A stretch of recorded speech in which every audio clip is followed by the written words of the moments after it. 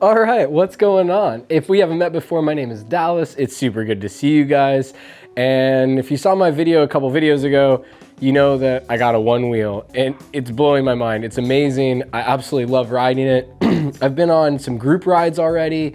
I've been on uh, some trail rides that were just crazy fun. Like I can't believe how fun this thing seriously is on trails. Like it's super capable. I didn't know because I got the pint, which is the smaller one. So it didn't take very long to get comfortable with it though. I'm riding off curbs and stuff now. It's not that big of a deal. Um, and instantly you start going online after you get one and you're like, I want to accessorize it. I want to put a bunch of stuff on it. There's these things called float plates that let it like protect the bottom.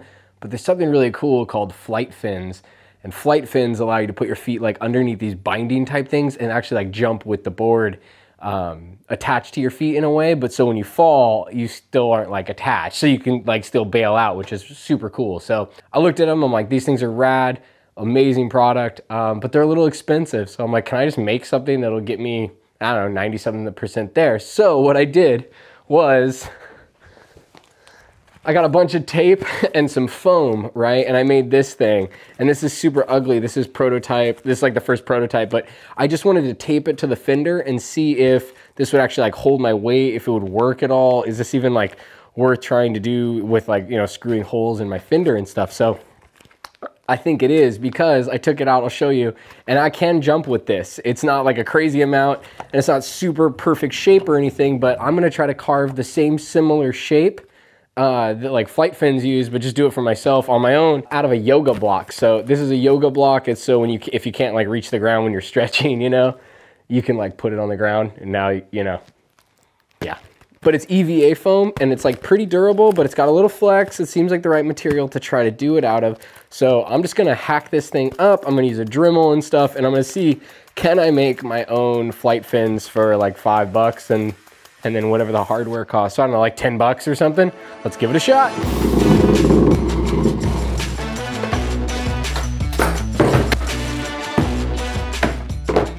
Cool. So we got a bunch of different tools. Got the hardware I'm gonna try to use to bolt it to it. In here I've got a Dremel um, and a bunch of bits like, so we're gonna try a Dremel and stuff. We're gonna try to shape this thing and I'm just gonna look at photos of them on my phone because I don't have any. I don't have any flight fins to like use as a reference, but it's a super complex shape. I don't know. It's like curving down, it's coming in, it's curving up. Like there's a lot going on. So this is gonna be a challenge. I think the best way to approach it is gonna be cutting two rectangles that are about the size of it if nothing was carved away, if that makes sense. No idea how to do this yet. Let's try that. Okay. So first cuts, I'm gonna just shear this off. I'm gonna try to get some of this shaved down.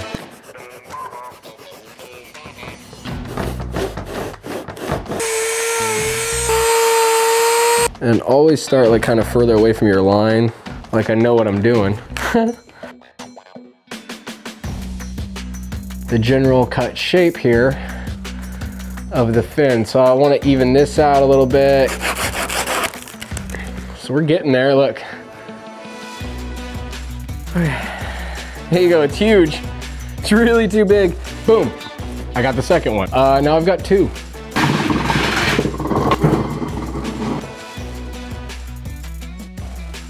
So I've got these four inch long bolts. So one way I can do this, I haven't decided how I'm going to, but as I can sink this sucker in like that, and it'll actually give it some rigidity because there'll be a bolt in there.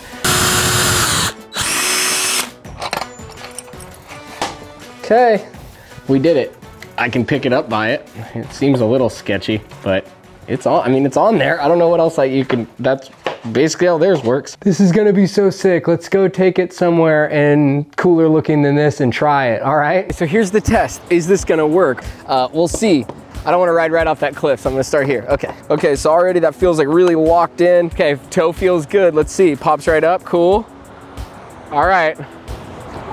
Woo! It definitely works. So it's a little sketchy, I'll be honest. Does it work? Yeah. I don't know if flight fins are me for me even if I bought the real ones. The idea of being locked in is cool for jumping and stuff, but I don't know if I'm gonna be doing that much jumping. So I don't know, but this has been a super fun project. Uh, it definitely works. I'm gonna try it out over the next day or two and I will let you know how it is.